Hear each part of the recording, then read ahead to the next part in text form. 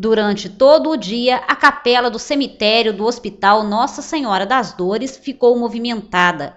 Parentes, amigos e pacientes foram prestar a última homenagem ao médico Salvador Ferrari. Coroas de flores chegavam a todo momento. Com formação na área ginecológica e obstétrica, o ponte-novense Salvador Ferrari foi médico da instituição por vários anos, sendo provedor por dois mandatos seguidos. Segundo informações da assessoria de imprensa do hospital, Dr. Ferrari deu entrada na noite da segunda-feira e encaminhado ao CTI, onde faleceu. O enterro foi na tarde dessa terça-feira, no cemitério da cidade.